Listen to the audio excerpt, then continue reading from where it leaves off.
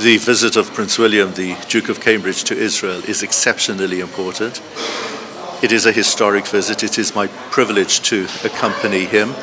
It is the very first official visit of a member of the British royal family to Israel since the establishment of the state. Prince William is palpably excited about the visit, and so far it's been going really well. We know that the Princess uh, William is a grandson of Righteous of Nations, and he was visiting uh, Yad Vashem. It was very exciting, no? A year ago, Prince William paid a visit to the Stutthof concentration camp in Germany. Before he went there, he and I had a conversation, and he told me how important he saw it was for him to be a role model for all of society, but in particular for people of his generation, young people around the world who did not witness the atrocities of the Shoah and who need to hear the right kind of message. His visit to Yad Vashem yesterday was very much a follow up visit because he wants to project a message to all of our society. We must recognize what happened in the past. We must pay tribute to the memory of the victims, and we must do whatever is within our power to guarantee that we will have a healthy uh, and good society in the future. You know, you're talking about a lot of uh, uh, this uh, visit that's very, very uh, exciting. But before that, uh, Princess William coming, they have a lot of political arguing about Jerusalem. First, is not to recognize Jerusalem as a capital of Israel. And second, he said that he's going to visit in the occupied places. President Donald Trump recognized uh, Jerusalem as the capital of uh, Israel. And England, not yet. Why is that? What do you think about that? You will notice here on my lapel there is a pin, the flags of Israel and of Britain. That's the symbol of this visit. Two countries with exceptionally strong ties. That's what Prince William said in the speech that he made last night at the official residence of the British ambassador to Israel.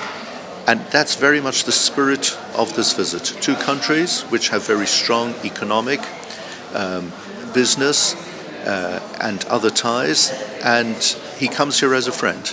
William's visit here is not the visit of a political leader. He is a member of the royal family. In the course of time, he will one day be King of England, and there is an enormous amount of warmth to the Jewish people, to the Jewish state. He's staying here in Jerusalem. Uh, he pointed out to me various sites, how excited he is here to be in Jerusalem, Ir HaKodesh, and I see him in the future as being somebody who will indeed exude a lot of warmth and friendship towards Jerusalem, the Jewish state, and the Jewish people. You speak with them about this uh, subject? William is not responsible for the public uh, policy, the foreign policy uh, of Britain. He's here as a symbol of the closeness of two countries. His visit is a cause for celebration, for highlighting the connection between the two countries. It's been a long time in in coming. We've needed to wait some time for it. It has arrived.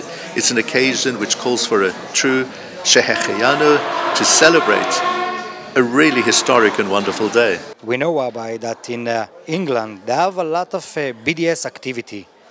How do you fight against uh, those organizations that fighting every day against Israel? It is well known in terms of BDS that there are numerous challenges around the world and of course, it is important for us to project a positive image for Israel, to get the truth out there.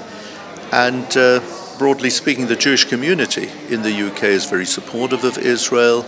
Uh, I think there is also a very powerful situation here. I'm here in Israel today as part of the delegation of Prince William, working hand in hand.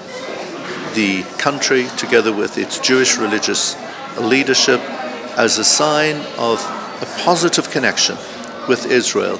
And this is certainly something which this concept and this idea is one which we are promoting. Before we For the end, interview, I want to ask you about your community.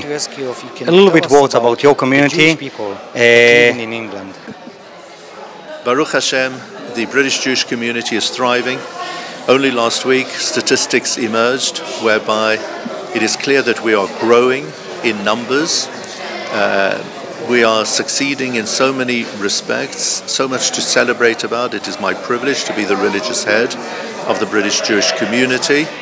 Together with that, we do have our challenges. We've got challenges due to an increase in anti Semitism and various pressures on us and the secularization of our society, challenges in education and in other spheres. Bezrat Hashem, we will overcome challenges. We are great allies of Medinat Israel and we support Israel and we want Israel to succeed and Bezrat Hashem, Almighty God will bless the whole of the Jewish people. And like you say, Shehecheyanu. Absolutely. This is a wonderful day for us.